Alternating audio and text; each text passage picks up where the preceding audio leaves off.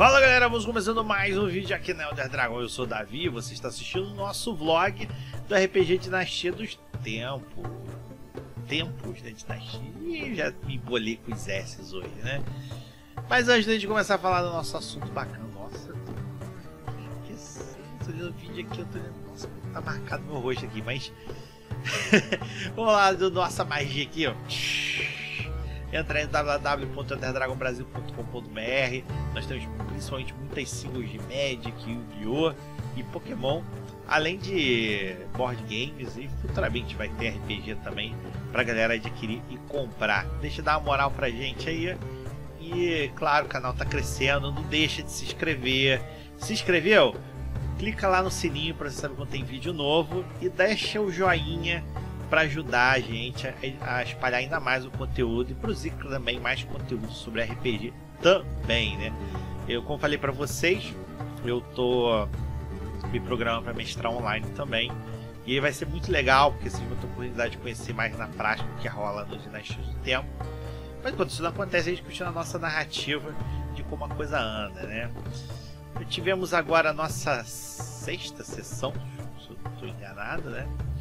E. Uh, bem, apuros. Não teve nenhum combate na sessão, isso foi engraçado. E só que quase que eu vi o grupo sambar em alguns momentos. Eles voltaram lá no armazém, né? Antes disso, a bruxa Ember, que é a Nan, né? Teve um sonho, né? Sonho com o patrono dela, o patrono dela entrou em contato com ela isso perturbou bastante a sanidade dela, mas dessa vez de uma certa forma proposital. O patrono dela, assim, o Kitulin lá dela, ele, vamos dizer assim, fez, deu um poder especial para ela para que ela conseguisse, vamos dizer assim, ver um pouco além do mundo real, né? Conseguisse ver coisas em volta, assim, coisas do mundo dos espíritos. Isso fez com que ela também ficasse um pouco a par do que anda acontecendo lá na, em Antuérpia, né? E uh, nessa brincadeira, ela teve contato aí com um dos espíritos que anda de alguma forma relacionado com a trama, né? E agora o pouco que eles sabem assim até agora é que realmente tá, vamos dizer assim, o mundo anda um pouco conturbado ali na região porque muitas criaturas extraplanares aí estão de alguma forma interferindo nesse plano material. E aí eles têm que saber o porquê, né? Eles já sabiam um pouquinho disso por conta da Scarlet, né? Que é aquela caçadora de demônios. Mas não são apenas demônios que estão interferindo aí, né? Enfim. E eles vão, por conta disso, né? Buscar lá no armazém as respostas, pelo menos algum encaminhamento para do que está acontecendo, né? Chegam lá no armazém, eles observam que o construto continua ativo pro, e vão eles tentam obviamente mais furtivamente pelo local né para evitar de atrair o, o construto e eles percebem que esse construto é de forma vamos dizer assim, a versão compacta de um coletor de cadáveres para quem já jogou RPG Dungeons and Dragons principalmente pegou por exemplo se você pegar no 3.5 no livro dos monstros 3 né ele é um monstro originalmente Eberron. A criatura, o construto em si, não é propriamente um coletor de cadáveres, mas ele é tipo uma versãozinha compacta dele e que ainda assim é poderosa o suficiente para, vamos dizer assim, liquidar com os aventureiros ali no nível que eles estão com muita facilidade, né? Mas eles foram furtivamente, até uma porta menor, até porque os portões levariam para arma outro armazém em que o construto também toma conta, né? quase que foram pegos porque o Ladino, ao invés de abrir a porta, procurar ver se a porta estava aberta, tentou fazer aquele famoso clássico erro, erro clássico, né? Vamos botar assim, né? Em que você, ao invés de verificar se a porta está aberta antes, o cara já toma como presu é, já toma presumidamente que a porta está trancada, né? Então perdeu um tempo lá tentando destrancar o que estava destrancado, né? E aí eles entraram num refeitório. Eles entraram num refeitório cheio de cadáveres, e uh, a primeira atitude que o Ladino queria fazer era mexer nos cadáveres. Isso já alertou a Amber, como eu falei para vocês, ela tá com um poder especial consegue ver ao mesmo tempo o mundo real e os espíritos ali conectados, e percebeu que os havia uns espíritos ali próximos que não estavam nem um pouco felizes com a ação do Ladino, né? Isso começou a irritá-los ali, né? Já no processo de mexer, e ela pediu que ele não mexesse lá. Eles foram verificar as portas dos refeitórios, várias e descobriram que duas delas estavam trancadas. Eles vieram por uma porta, mas havia uma entrada que não sem uma porta em que eles poderiam acessar um outro local. Né? Nessa eles descobriram que, era, que tinha uma cozinha. Só que a cozinha, ao eles verificarem, né, eles perceberam que tinha um, assim, um material, um gosmento preto no chão, né? E perceberam que era uma espécie de um óleo, ali, um piche, uma coisa meio. um problema, vamos dizer assim, inflamável, né? No chão, né? Fora a bagunça que tava a cozinha, cheia de alimentos estragados, etc, né? Aí vem a situação do perrengue. Por quê? Primeiro perrengue deles. Ali é altamente inflamável, né? E o grupo tem um personagem, geralmente, cara, quando o Dudu joga algum personagem, ele tem, adora tirar resultado baixo. E ele estava numa área escorregadia, né? É, a lanterna furta, eles compraram a lanterna furta-fogo na sessão anterior. E essa lanterna estava com a Barda, né? Que é a Nádia, que é o Dudu que estava jogando. Só que, por sorte, a Rebeca, que é a xamã, né? A, que é a é, Lizard Folk, né? Vamos dizer assim, povo lagarto, né? Uma lagarta, né? Olha, lagarta. Lagarta, né? Não sei como chamar isso, né? pegou a lanterna, deixou, tava com ela a lanterna e não mais com a barda. E aí foi a conta, meu amigo. Porra, tipo, fizeram o teste passando ali. Eles não passaram tão lentamente, talvez, assim, enfim, não tiveram tanto cuidado assim. E a barda, meu amigo, foi de cara no chão no piche. Tirou o resultado tão baixo. E tipo, todo mundo respirou fundo, né? Que imagina assim, meu Deus, se tivesse com a lanterna futa fogo, ia ser um, um, um auto-kill de vários ali ao mesmo tempo, né? É, e ela ficou toda cagada de óleo e tal, tá? Né? Cheia de óleo, né? Inclusive não ficou muito esclarecido o que, que ela fez com a roupa dela, se ela tirou ou não. Mas tá toda suja de óleo, inclusive no cabelo, né? Bem, aí, né? É, eles continuaram ali pela cozinha. Foram. Não chegaram a explorar nada na cozinha, né? E foram até o próximo local que era uma dispensa. Né? A porta também não estava é, trancada, né? E com isso eles acessaram uma dispensa toda cheia de teia de aranha e por acaso tinha umas aranhas, não necessariamente aranhas gigantes, mas umas aranhas, bitela desse tamanho que inicialmente eles não tinham percebido, né? E tanto é que o Ladino viu um, corpo, né? O Ladino tem tesão em ver um corpo e já queria lá mexer, né?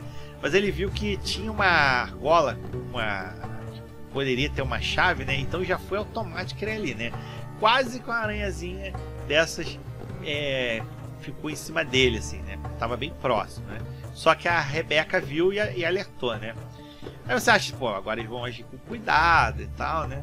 É só observação rápida. Nessa sala tem uma porta que eles viram que dá para a rua, ou seja, é a outra entrada pelo armazém, é aquela porta ali. Aí seria a chave pequena que eles encontraram anteriormente quando não é que encontrar, né? Quando o Touzak, né, que era aquele troll, entregou duas chaves para eles, tinha uma grande que era da porta da frente e a pequena é dessa porta de trás. Seria uma segunda alternativa para eles saírem ali do local, né?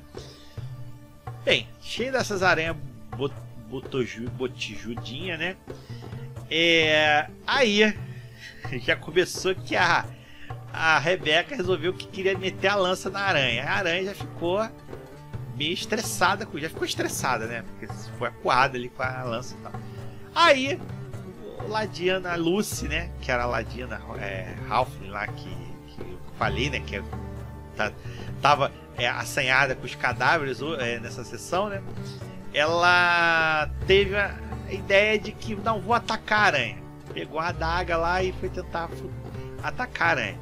Só que ela tirou um resultado baixo e e claro, pelo, por ser um ataque próximo, a aranha revidou. Né? E teve outro, tirou o double, quase que inoculou veneno o dano suficiente para derrubar e levar a óbito a Ladina.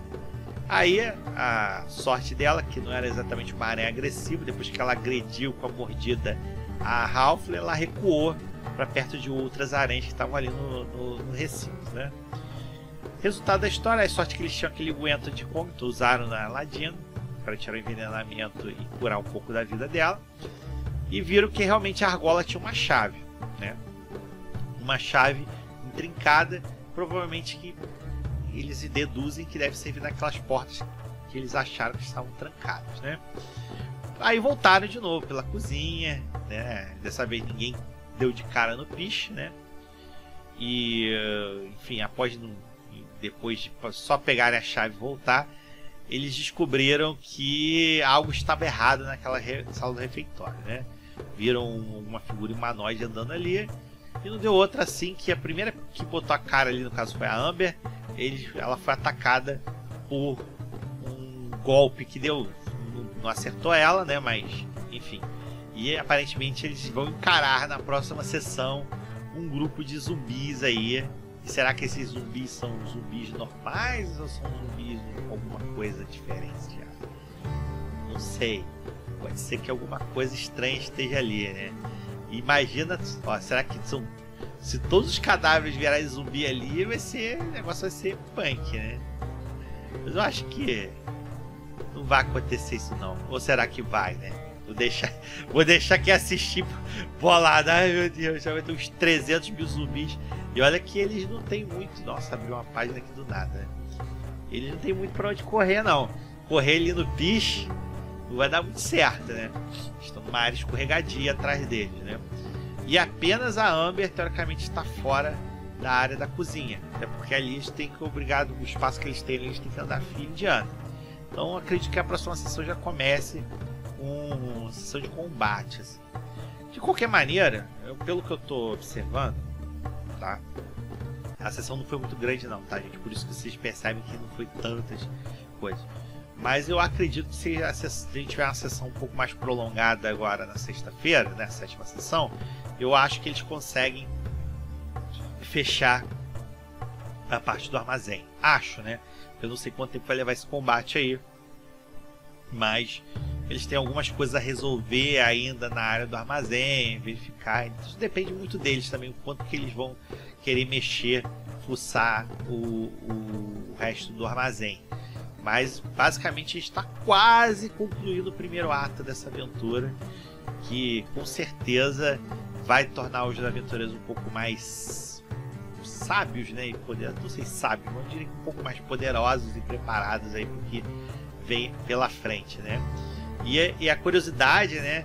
É saber quem, né? Quais famílias nobres, né? Podem estar sob a, com a posse desses espelhos. O que, que é, será que eles vão descobrir, né? E enfim, e, e esses espelhos, como a gente já está bem deixando claro aí, né? Eles levam né, a abertura de outros planos, não necessariamente só o plano do, do caso aí do patrono do, dos bruxos aí, dos ancestrais, mas tem outros planos aí, alguns demoníacos, alguns outros estranhos aí, né? Que tá fazendo essa bagunça toda, né? E vou te dizer, hein, o, pro, próprio patrono tá interesse nessa aventura aí, nesse desenrolar da, desse grupo, né? O que, eles vão fazer com os espelhos ou não. Será que de repente Antuérpia vai acabar virando um campo de guerra de criaturas extraplanares? Vai ficar meio bizarra a situação, né? E, enfim, fora que eles ainda estão na área mais pobre da cidade, eles não conhecem, mal conhecem a cidade de Antuérpia ainda, né? muita coisa para acontecer ainda, né? Então é isso aí, galera. Espero que tenham gostado do vídeo. É, não deixe, como sempre, deixar uma opinião, um joinha, coisa assim. E em breve eu espero estar mestrando online também essa aventura. Beleza? Então é isso aí. Até a próxima.